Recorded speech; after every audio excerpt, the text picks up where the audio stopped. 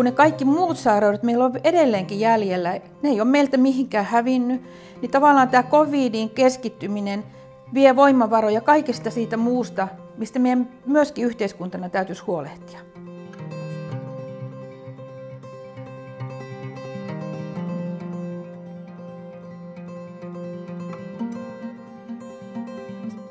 Meillähän on nyt käynnissä tämä maailmanlaajuinen pandemia covidin suhteen. Ja jos me verrataan maailman lukuja, niin me suomalaiset ollaan pärjätty tosi hyvin tämän suhteen, mutta siitä huolimatta suhteellisen tajumme on horjunut.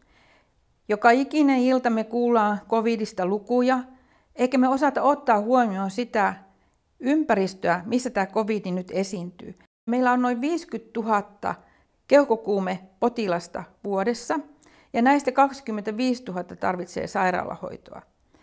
Pelkästään vuonna 2018 kuoli 436 ihmistä influenssaan. Nyt meillä on mennyt 350 ihmistä covidiin ja tänä aikana meidän koko huomio on keskittynyt tähän covidiin.